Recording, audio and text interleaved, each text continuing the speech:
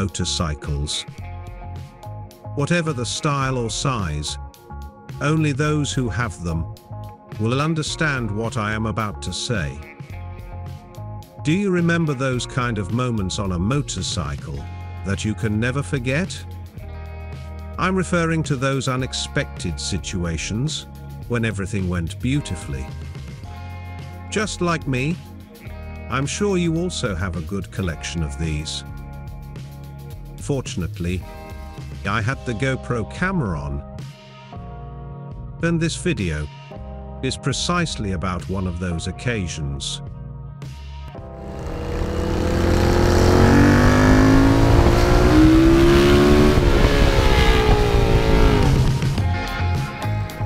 Welcome to Racer TV. Before starting the main video, I should clarify that the sound quality is not as good as in the video I presented years ago. But even so, a good pair of headphones will be very useful to hear some more interesting moments. It all started with this traffic light.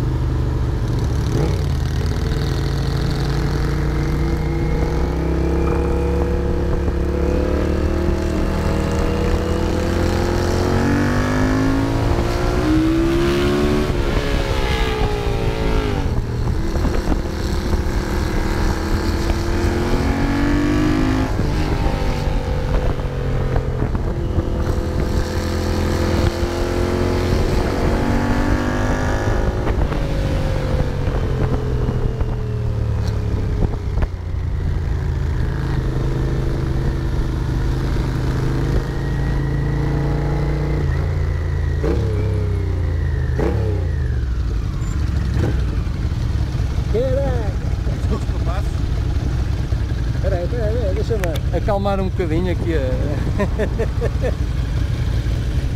Este bocadinho agora foi. Devia ter uma câmara para vocês dois arrancar, esquece. Atrás era só preso da tua moto. É? Estava mesmo, a moto ia mesmo a dar tudo. Ô diabo, isso é mau sinal, cara. Também foi ao mar. Eu passei por ti para isto, cara. É que começaste a vir assim. Foi, foi, foi mesmo ali. As all of you know, after a trip, there is always the usual group meeting. And why? Because each biker has a different field of vision, seeing things that others haven't seen.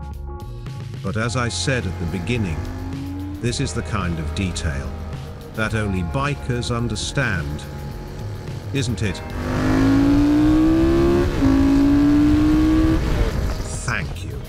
For watching Racer TV. And as always,